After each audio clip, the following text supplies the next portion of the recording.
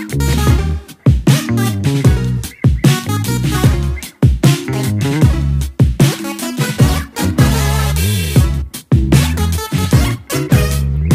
à tous et bienvenue sur la chaîne. Aujourd'hui, je vous propose un petit déballage express d'un répéteur Wi-Fi de la marque Rockspace. Et pourquoi Express? Tout simplement puisque c'est l'une de ses forces à ce répéteur. Il s'installe ultra rapidement, alors de deux façons, soit en WPS, et là c'est vraiment ultra rapide, ou soit avec la méthode qu'on va voir et qui est un petit peu plus longue, mais ça prend quoi? Deux minutes à tout casser. Alors on va reprendre depuis le début pendant que je déballe. Euh, à quoi sert un répéteur? Tout simplement amplifier le signal. Pour amplifier le signal, il y a plusieurs solutions, notamment les routeurs mesh. Alors je vous en ai présenté euh, quelques-uns, notamment les Hero que j'ai, que j'utilise toujours, les Tenda euh, que j'utilise de plus en plus, mais en tout cas bah, qui c'est qui couvre le mieux, en tout cas, c'est ce que j'ai trouvé le mieux euh, pour mon habitation.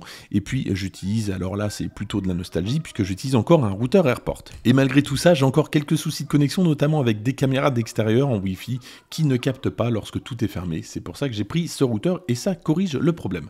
Donc voilà à quoi ressemble le routeur de la marque Rockspace. Alors on a déjà vu hein, ce, style-là, c'est pas la première fois. Je pense qu'il y a des sous-marques aussi.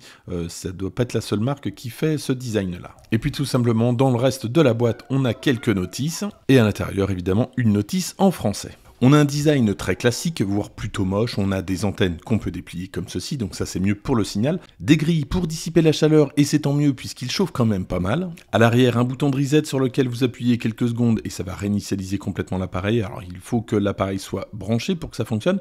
Et puis le port Ethernet évidemment qui permet d'avoir une connexion Internet récupérée par le Wi-Fi du répéteur. Ici quelques diodes, notamment le signal. Alors s'il est bleu, c'est que le signal est parfait. Rouge, bah, c'est que c'est moins bon, mais ça peut fonctionner quand même ça a été mon cas, le WPS, et puis le bouton pour activer le WPS pour donc faire le jumelage très rapidement entre une box par exemple et le répéteur. Pour l'installation, on va dans les réglages Wi-Fi, on sélectionne Rockspace EXT et on n'a plus qu'à aller dans Safari. Et dans la barre d'adresse, on tape 192.168.0.254. Et puis c'est tout simple, ça va nous demander de créer un mot de passe pour le répéteur, d'utiliser le réseau qu'on veut répéter et de mettre son mot de passe à lui. Et voilà, c'est terminé. Dans les faits, voilà comment ça se passe. On a toute la liste des routeurs donc, qui sont environnants. On le sélectionne, on met le mot de passe du routeur et c'est parti, il sera répété. Et une fois que c'est fait, on a deux nouveaux réseaux créés, un réseau 5 euh, GHz et l'autre 2,4 GHz avec EXT à la fin.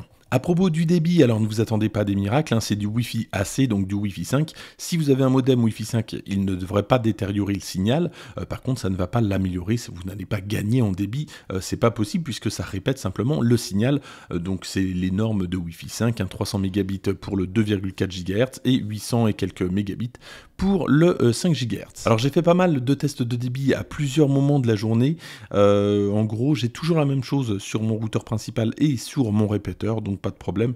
Et puis globalement, ça me semble assez stable euh, à voir dans le temps. Le constructeur annonce jusqu'à 32 périphériques connectés en même temps, donc pour mon cas, euh, ça ne gêne pas puisque c'est pour simplement connecter quelques caméras à l'extérieur. Par contre, si c'est pour couvrir vraiment tous les appareils Wi-Fi de la maison, là, ça peut être un petit peu gênant. Et puis un petit mot concernant le port Ethernet, donc aucune difficulté, c'est ce que je vous disais tout à l'heure. Vous branchez un appareil, alors moi j'ai fait le test avec un iPad, j'ai branché un hub USB, j'ai branché un câble Ethernet sur l'iPad jusqu'au port Ethernet du répéteur, pas de problème, j'ai récupéré la connexion euh, qui est reliée via le Wi-Fi du répéteur. Voilà ce que je pouvais vous dire sur ce répéteur Wi-Fi de la marque Rockspace à moins de 50 euros. Donc globalement il est très simple d'utilisation, très polyvalent, même s'il n'a pas les caractéristiques d'un Wi-Fi 6, il est largement suffisant, notamment pour avoir éventuellement le Wi-Fi au fond du jardin. Si le produit vous intéresse, je vous mets le lien dans la description. En attendant, n'hésitez pas à liker cette vidéo, à la partager, à vous abonner si ce n'est pas déjà fait. Et moi, je vous dis à très bientôt.